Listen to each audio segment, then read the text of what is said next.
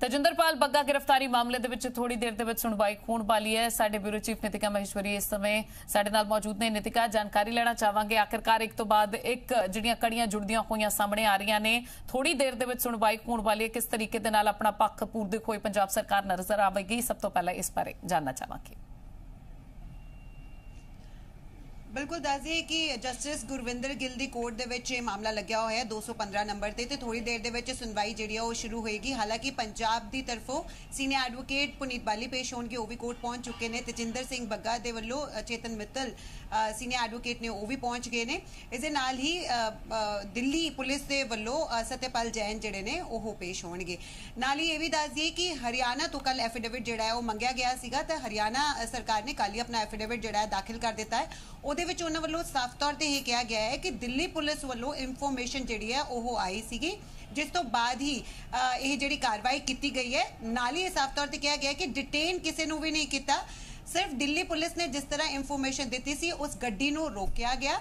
ਨਾਲ ਹੀ ਉਹਦੇ ਵਿੱਚ ਜਿਹੜੇ ਪੁਲਿਸ ਕਰਮੀ ਬੈਠੇ ਸੀਗੇ ਮੁਲਾਜ਼ਮ ਬੈਠੇ ਸੀਗੇ। ਉਹ ਸਿਵਲ ਦੇ ਵਿੱਚ ਸੀਗੇ। ਯਾਨੀ ਕਿ ਉਹਨਾਂ ਨੇ ਯੂਨੀਫਾਰਮ ਨਹੀਂ ਪਾਈ ਹੋਈ ਸੀ ਤੇਜਿੰਦਰ ਬੱਗਾ ਵੀ ਉਸੇ ਗੱਡੀ ਦੇ ਵਿੱਚ ਸੀਗੇ ਤੇ ਪੀਪਲੀ ਪੁਲਿਸ ਥਾਣੇ ਨੂੰ ਥਾਣੇ ਵਿੱਚ ਉਹਨਾਂ ਨੂੰ ਲਿਜਾਇਆ ਗਿਆ ਤੇ ਇਸ ਦੀ ਇਨਫੋਰਮੇਸ਼ਨ ਜਿਹੜੀ ਆ ਉਹ ਦਿੱਲੀ ਪੁਲਿਸ ਨੂੰ ਦੇ ਦਿੱਤੀ ਗਈ। ਉਸ ਤੋਂ ਬਾਅਦ ਦਿੱਲੀ ਪੁਲਿਸ ਜਿਹੜੀ ਆ ਉਹ ਤੇਜਿੰਦਰ ਬੱਗਾ ਨੂੰ ਲੈ ਗਈ। ਤਾਂ ਇਹ ਇਨਫੋਰਮੇਸ਼ਨ ਜਿਹੜੀ ਆ ਉਹਨਾਂ ਨੇ ਦਿੱਤੀ ਆਪਣਾ ਐਫੀਡੇਵਿਟ ਵੀ ਜਿਹੜਾ ਹੈ ਦਾਖਲ ਕਰ ਦਿੱਤਾ ਹੈ। ਫਿਲਹਾਲ ਦੇਖਣਾ ਹੋਵੇਗਾ ਕਿ ਅੱਜ ਪੰਜਾਬ ਸਰਕਾਰ ਤੇ ਦੂਸਰੇ ਜਿਹੜੇ ਪੱਖ ਨੇ, ਉਹ ਆਪਣਾ, ਆਪਣੀਆਂ ਕੀਆਂ, ਕਿਹੜੀਆਂ ਦਲੀਲਾਂ ਜਿਹੜੀਆਂ ਉਹ ਕੋਰਟ ਦੇ ਵਿੱਚ ਦਿੰਦੇ ਨੇ। ਬਿਲਕੁਲ ਨਿਤਿਕਾ, ਇਲਜ਼ਾਮ ਦੋਨੋਂ ਪਾਸਿਓਂ ਲੱਗ ਰਹੇ ਨੇ। ਆਖਿਰਕਾਰ ਤਿੰਨੋਂ ਜਿਹੜੀ ਸੂਬਿਆਂ ਦੀ ਪੁਲਿਸ ਸਾਹਮਣੇ ਸਾਹਮਣੇ ਹੁੰਦੀ ਹੋਈ ਦਿਖਾਈ ਦੇ ਰਹੀ ਹੈ। ਦਿੱਲੀ ਪੁਲਿਸ ਖੁਦ ਕਹਿ ਰਹੀ ਹੈ ਕਿ ਜਿਹੜੇ ਸਹੀ ਤਰੀਕੇ ਦੇ ਨਾਲ ਗ੍ਰਿਫਤਾਰੀ ਨਹੀਂ ਹੋਈ, ਪਰ ਦੂਜੇ ਪਾਸੇ ਪੰਜਾਬ ਪੁਲਿਸ ਦਾ ਵੀ ਇਹੀ ਕਹਿਣਾ ਕਿ ਅਸੀਂ ਪੂਰੇ ਪ੍ਰੋਸੀਜਰ ਨੂੰ ਫੋਲੋ ਕੀਤਾ ਹੈ। ਆਖਿਰਕਾਰ ਪੰਜਾਬ ਪੁਲਿਸ ਨੇ ਜਿਹੜੇ ਉਹਨਾਂ ਤੇ ਇਲਜ਼ਾਮ ਲੱਗ ਰਹੇ ਨੇ, ਉਸ ਬਾਰੇ ਕੁਝ ਕਿਹਾ ਬਿਲਕੁਲ।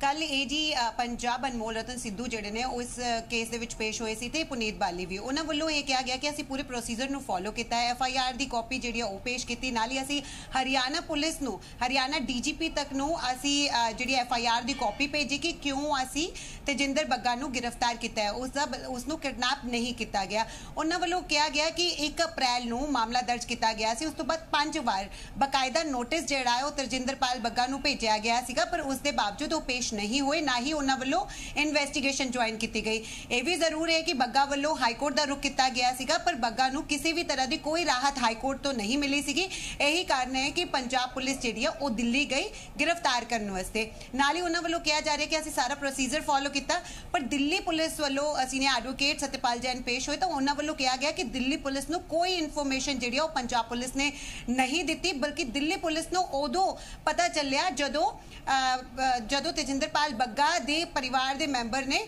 ਜਨਕਪੁਰੀ ਥਾਣੇ ਦੇ ਵਿੱਚ ਆ ਕੇ ਦੱਸਿਆ ਕਿ ਕੁਝ ਲੋਕ ਜਿਹੜੇ ਨੇ ਆਏ ਨੇ ਤੇ ਉਹ ਤੇਜਿੰਦਰਪਾਲ ਬੱਗਾ ਨੂੰ ਲੈ ਕੇ ਚਲੇ ਗਏ ਨੇ ਤੇ ਕਿਡਨੈਪਿੰਗ ਦਾ ਮਾਮਲਾ ਦਰਜ ਹੋਣ ਤੋਂ ਬਾਅਦ ਜਿਹੜਾ ਹੈ ਉਹ ਦਿੱਲੀ ਪੁਲਿਸ ਨੂੰ ਜਿਹੜਾ ਦਿੱਲੀ ਪੁਲਿਸ ਨੇ ਹਰਿਆਣਾ ਪੁਲਿਸ ਨੂੰ ਇਨਫੋਰਮ ਕੀਤਾ।